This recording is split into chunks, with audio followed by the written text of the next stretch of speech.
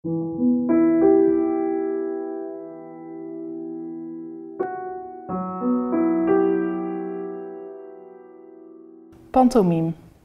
Voor mijn spel heb ik geen woorden nodig. Mijn gezicht spreekt boekdelen. Mijn handen zijn bedreven in gebarentaal. Ik neem een publiek mee in fantasie en beelden. Men komt op plekken nog nooit gehoord. De lach klinkt helder bij herkenning. En als ik s'avonds thuis kom, dan wacht daar een andere stilte. Een glazen wand van eenzaamheid, die zich niet laat betasten. Ik spreek tegen de muren meer woorden dan ooit tegen de mens. Weet me zonder kostuum onbeschrijfelijk alleen. Op Hofwijk doen we dit jaar voor de zesde keer Dichter op Hofwijk. Dat doen we in de donkere wintermaanden. En waarom doen we dat? Omdat Constantijn Huygens een van onze bekendste en meest geliefde dichters uit de Gouden Eeuw was. En dit is zijn verzameld werk, Korenbloemen, 1672, duizenden gedichten. Deze bundel verscheen 50 jaar eerder, Otia, 1625, Constantijns eerste verzamelbundel. Eh, de titel is Otia en dat betekent, dat is Latijn, dat betekent ledige uren, vrije uren.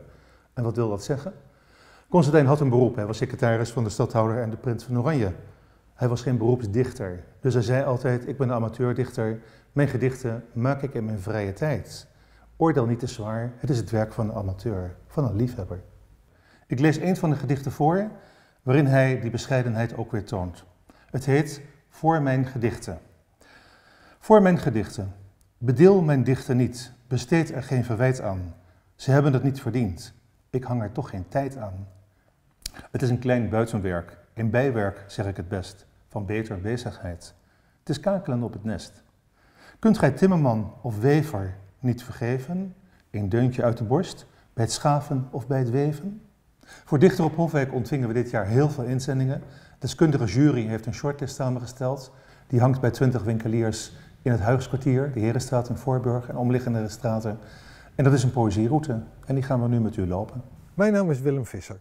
Ik ben de eigenaar van de Rietshop in de Herenstraat 132 en wij verkopen hier tabakswaren, tijdschriften en een hoeveelheid mooie bonnen die men cadeau kan geven. Uh, wat wij tevens doen is een heleboel wenskaarten. Een tragicomedie. Scène 1. Scheppen. Scène 2. Scheppen. Scène 3. Scheppen. Scène 4. Scheppen. Scène 5. Scheppen. Scène 6. Scheppen. Scène 7. Rusten. Hij dronk thee, at er een koekje bij, smaakte dat het goed was en liet het doek vallen. Wist hij veel wat een theater zij daar beneden er elke dag van zouden maken. Hij wacht nog altijd op de slotscène. Welkom in onze wereldwinkel in Voorburg. Mijn naam is Wil Koens en ik ben vrijwilliger in deze winkel. In deze winkel verkopen we fairtrade spullen en daarmee hopen we mensen in de derde wereld te helpen. Aan u, mijn klein publiek. Aan u, mijn klein maar fijn publiek, begin ik nu mijn woordjes uit te delen. In niet meer dan in korte zinnen deel ik ze uit. Ik heb namelijk een erg bescheiden woordenschat. Ik vraag u daarom bij deze, wees alstublieft wel wellevend en verdeel de woordjes eerlijk onder elkaar. Zie mijn gedichtje, al was het een klein mandarijn. Eén partje dus, voor iedereen. Ik ben Martijn Schuring van Wijnhuis Huygens, de wijnspeciaalzaak en drankenspeciaalzaak in de Herenstraat, Voorburg. Uh, ik koop met veel plezier heel veel soorten wijn, mooie gins, whiskies en jenevers. En dat allemaal in het uh, mooie Huygenskwartier. Spel. Mijn leven is een spel, zonder voorbedachte raden. Ik speel de rol van Alexander, die ik niet volledig ken, maar onomwonden wel steeds ben. Nergens staat mijn rol beschreven. Geen souffleur leest mij de les. Nooit kan ik eens pauze nemen. Achter de coulissen staan, tussen het publiek gaan zitten. Telkens moet ik verder gaan. In de rol van Alexander, die ik niet volledig ken, dus onbezonnen dan maar ben. Scène 3. Gordijnen open, op de houten vloer. Een bank vol kussens en een schemerlamp. Een zacht en huiselijk decorum. Een stuk voor twee, de rollen goed gekast. Zij gebaart, de handen in de lucht, wat later in haar schoot. Hij neemt een glas, ontwijkt haar ogen en staart naar elke moedervlek. De nieuwste nieuwbouw van de stad. Laat hier geen kinderen komen. De lamp gaat aan op nummer 5. Andere vloer, man, vrouw, bank, box. Weg ben ik van deze kijkdozen, al mag ik niks aanraken. Ik sta er buiten. Het is schuur vandaag.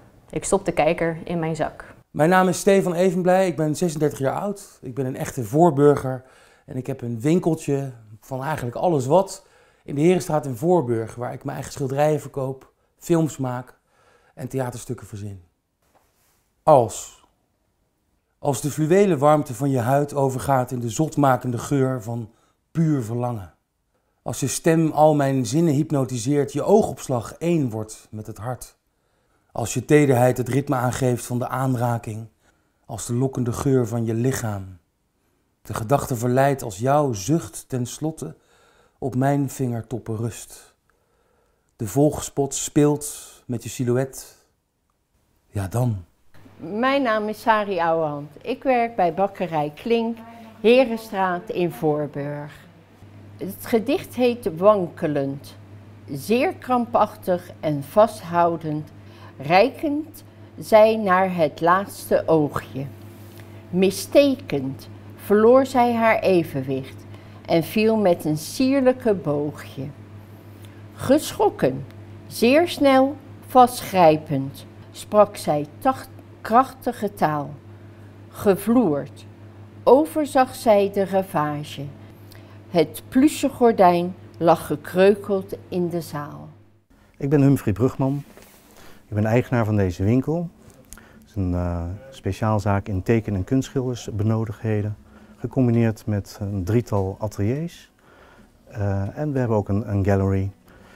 Um, we zitten hier op de Zwarte Pad nummer 7 en de Herenstraat 125 in Voorburg. Uitstromend in het pluche van de zaal. Zachtjes leunend tegen een warme walm van natte wol, dansen de slotnoten een wals.